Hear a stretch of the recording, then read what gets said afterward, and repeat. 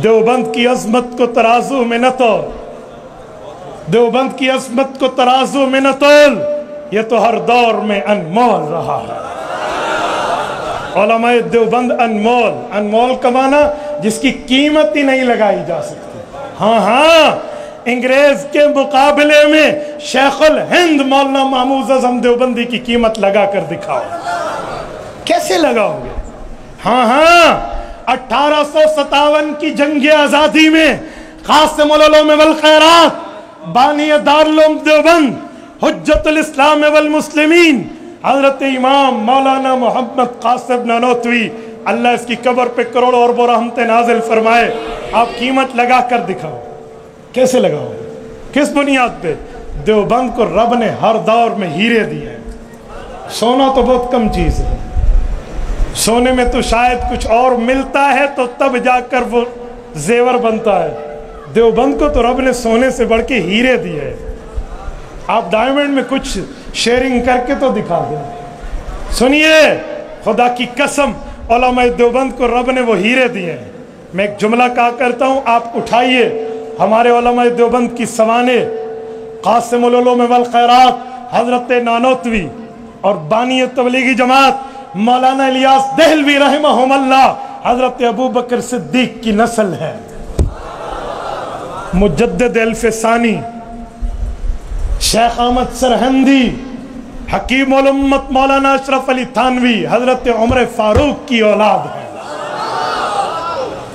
मौलाना शब्बीर अहमद उस्मानी, मौलाना ज़फ़र अहमद उस्मानी, ये हज़रत उस्मान गनी की औलाद है।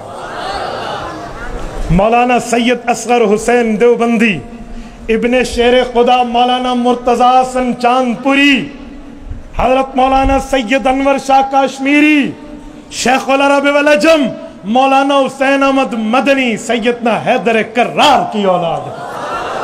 देवबंद को तो रब ने हर मैदान में हीरे दिए। मैं कहता हूँ, अगर दीन फैलाने की बातें हों तो अल्लाह ने देवबंद को मौलाना इलियास दहलवी दिया है। और इसी तरह दीन को तलवार के ज़रिए बचाने की बारी हो तो रब ने देवबंद को मुल्ला उमर दिया है। सुनिए, और अगर दीन के ऊपर खत्म नबुवत पर जान उठाने की बारी आए तो रब ने देवबंद को अमीर शरीयत सैयद शाह बुखारी दिया। और खत्म नबूवत।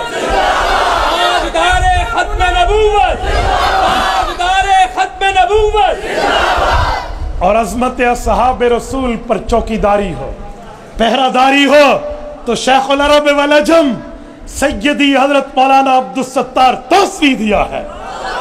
कायद आलो सुन्नत काजी मजर हुसैन चकवाल वाले दिए हैं। अमीर अजीमत मौलाना हक नवाज़ दिया है, जिसने आकर देवबंद के तर्ज पे अजमत सहाबा की पहरादारी की।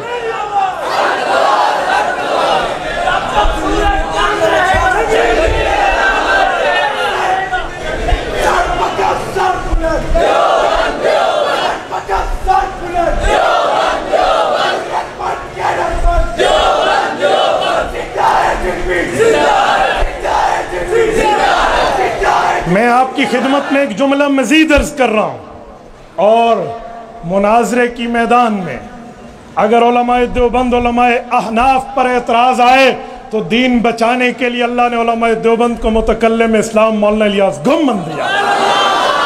और हजम कर पाओ तो मैं कहता हूँ, अमेरिका जैसी सुपर पावर की दुम पे पाँव रखने के लिए रब ने देवबंद को कायद मिल्लत इस्लामिया मौलाना फजरमान दिया।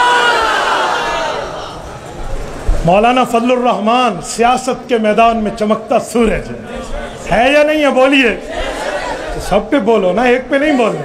सब पे बोले ना। तो मेरे दोस्तों, मैं कह रहा था कि अल्लाह रब्बुल इज़्ज़त ने कुरान करीम को क़यामत तक रखना है और ये कुरान वाले भी क़यामत तक रहेंगे। रखे। न ये कुरान को मिटा सके, न कुरान को मिटाने, कुरान को फैलाने वालों को न मिटा सकेंगे